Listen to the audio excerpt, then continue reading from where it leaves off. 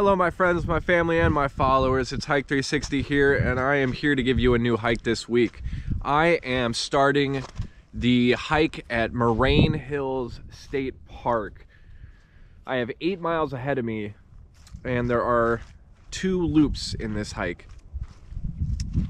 So what's special about this hike is that the the environment, the the land is the results of glacial activity from uh, 15,000 years ago. And it's really neat because I've been doing a lot of glacial related hikes around this area. So last week was Glacial Park.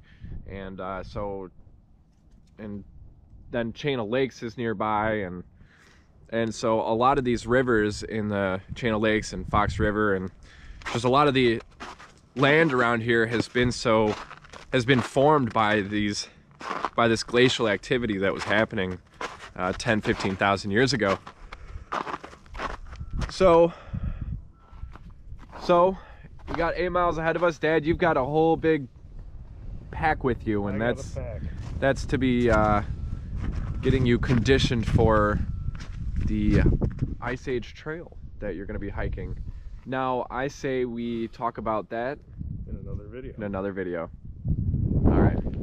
All right. So we're having a bit of a hard time because there's signs saying wrong way for the biking trail and uh, the hiking map that we're following has us going against the biking trail so we keep getting signs for the wrong way but we're making our way through and we are at the intersection we're at junction C and we're gonna make our way to junction D now that goes under River Road, and it's a two mile loop.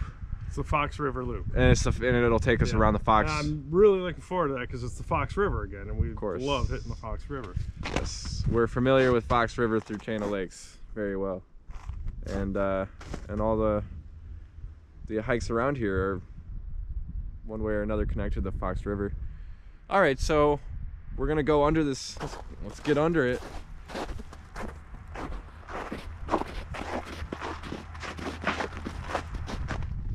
Oh, we saw a heron or a sand crane, a single lone bird that was uh, flying over Defiance Lake, just making bird calls, probably searching for his friends or a or a group to hang out with, because it was it was a lonely bird. Lonely bird. All right, so that's the underpass under the road. We'll catch you guys soon. Uh, what is the name of this trail part section? Junction D. Oh, but Fox uh, River. Fox River Trail.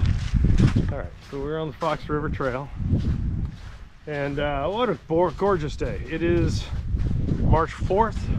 Yeah. And another great day. Clear skies we're heading over toward the Fox River and um, this is just really beautiful prairie or savanna or whatever this section happens to be. What uh, I find so fascinating is, I think we want to go this way. Pretty much all the hills around that we can see, which is, you know, the edges of the camera, are all glacier phenomenons of some sort.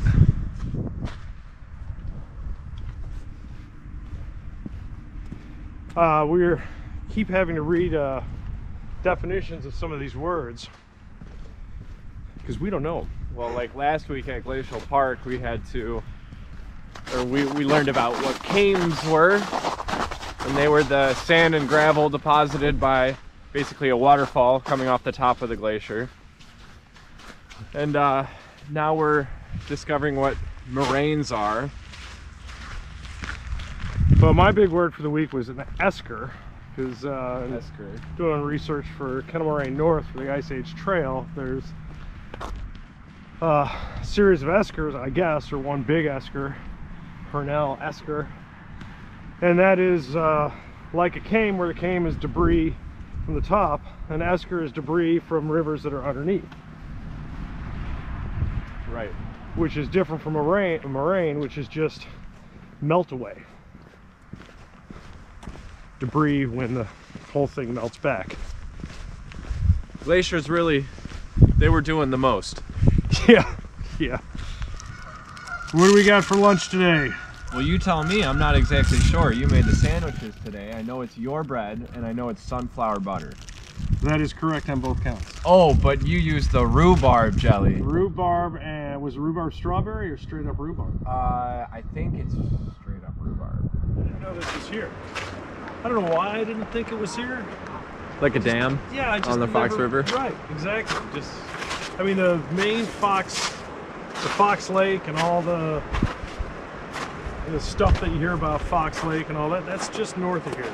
Yeah. So, I mean, it makes complete sense that the the drainage out of there, the Fox River, is going to have a lock and dam system, but it's never crossed my mind. Mm. I've learned so much about the Fox River area this year. I'm really happy about that. All right, we're just on a really cool path, part of the path right now, part of the trail. On the left side, there's like this gray, light, light blue, it's like iced over water, and on the right side, there's a dark blue uh, Fox River. We got some ducks diving for food or something, diving for food. Well said. Ryan, Mr. Nature. it's like the um, the movie Strange Wilderness, where it's just like these completely unqualified like drug addicts like filming a nature documentary. Oh, right, yeah. It's like, come on, do something! like yelling at nature to like be interesting. yeah. We're still going. We're passing through the southern tip of Defiance Lake, or the marsh at the bottom of the Defiance Lake. Kind of out there. Um, the water's frozen or slushy, like so. They have a good uh, like irrigation system too at the at the end of it, sponsored by the Illinois Department of Natural Resources and Unlimited Ducks Incorporated. Save the ducks, save the wetlands. We actually read a really interesting sign on all of the life that depends on wetlands, all the life in Illinois that depend on wetlands, uh, including like, you know, uh, a hundred of a hundred bird, different bird species, and uh, 175 migratory bird species, and some like 57 of 59 mammals found in Illinois, uh, like 60 different reptiles of like 62. So basically, if you're living in Illinois, you're more most likely depend on wetlands, and that's why it's important to take care of uh, take care of this area because it's uh, bigger than just one one life, my life, bigger than my life, bigger than bigger than the entire human species. There's tens and tens and tens of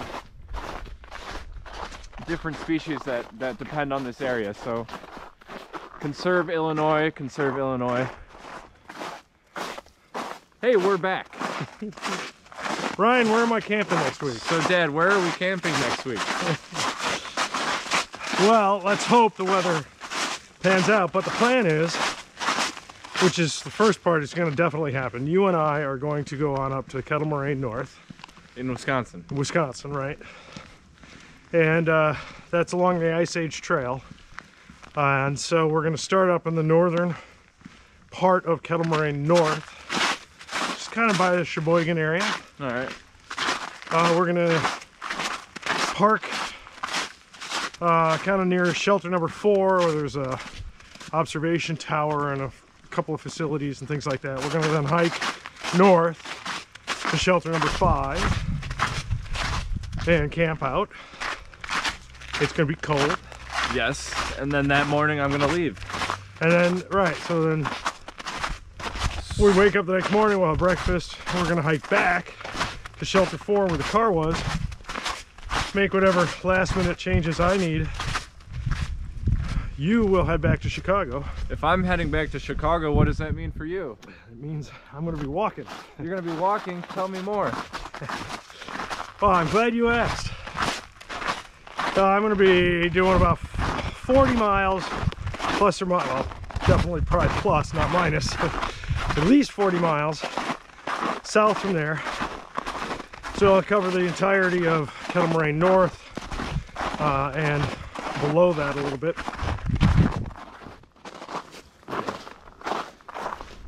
So we're back on, we got a nice view of Defiance Lake. We're coming up on Nature Center here in a little bit. And uh, uh, this is a neat place. I mean, again, how many times do we say that for these hikes? Uh, one tip, the book has us walking counterclockwise and all the signs here tell you to walk clockwise. And so I guess my big change for this hike would be to do uh, as the signs say and walk with the grain of traffic obviously nobody's around here right now and I'm not sure maybe that that's a COVID thing and these signs have only been up for less than a year I mean, what my understanding is, is that it's a biking and hiking trail, but it's a one-way biking trail and a two-way hiking trail. So we're going against the biking trail on this hike. yeah it's still unnerving to see we are coming up to the scenic overlook Ryan's getting a battery see the wrong way signs what a gorgeous day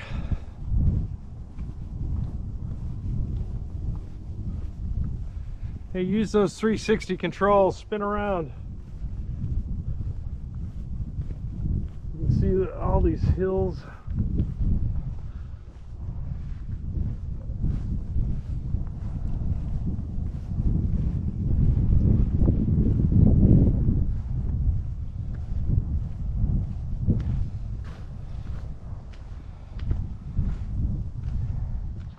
Right, so we're coming up to the parking lot that we started at.